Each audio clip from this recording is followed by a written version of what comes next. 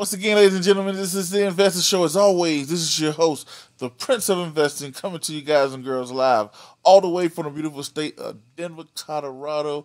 Don't forget to hit that like, subscribe, comment, share button, and hit the bell icon to get notifications as every new great video drop.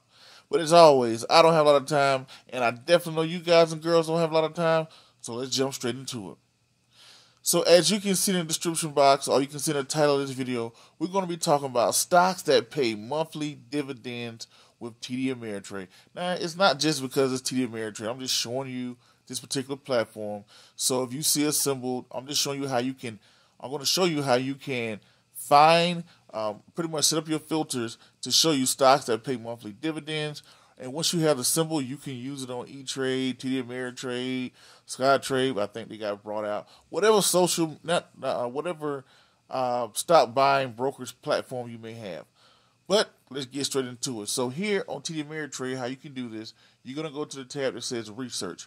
Up under Research, you're going to drop down to the tab right here up on the stocks where it says Overview. Click on that. It's going to bring you to this. When you come here, go to the next one that says Screener click on Screener. And once you get to Screener, what you're going to do is you're going to create a stock screener. So you're going to go go down here to where it says create stock screener. Boom. Now up on the stock screener, you're going to scroll down all the way to dividends. Up on the dividends, you're going to look at dividend frequency. How often does this thing pay dividends? So let's look at dividend frequency, and we're going to throw in dividend yield, which is how much it pays in dividend. And we're also going to go down here, we're going to put in current price. That's just something I'm just throwing up here. So dividend frequency right up under here where it says dividend frequency, right? You can say I'm looking for stocks that pay monthly, quarterly, semi-quarterly. So obviously we're going to look at monthly. Then it's the dividend yield. You say, well, uh, the average is 2.37, but you can pick. You don't have to pick one. But let's say if you're looking for stocks that pay eight to ten percent dividends monthly. Well, it pays eight to ten percent over a year annually. But you know, uh, you're looking for stocks that are paying eight to ten percent annually that pays out every month. Now you can pick the current price of the stock if you want to pick a, a price of stock, but we're not going to do that. Right here says we got 80 matches. We can click on it. Now once you click on it, it's going to bring you here with all the companies that pay monthly dividends between eight to ten percent. You got the dividend yield here, and then you have the current price of a particular stock. Now you can put this list in uh, higher to lower, lower to higher, however you want to do it by clicking on it. But we're not going to do that. We're just going to go to the first one they have here, which is this AVA stock. I don't know what this stock is, but hey. But anyway, annually it pays one dollar and forty one cent a year. So this thing pays out every month. So what you're gonna do? Go over here to calendar. Click on calendar.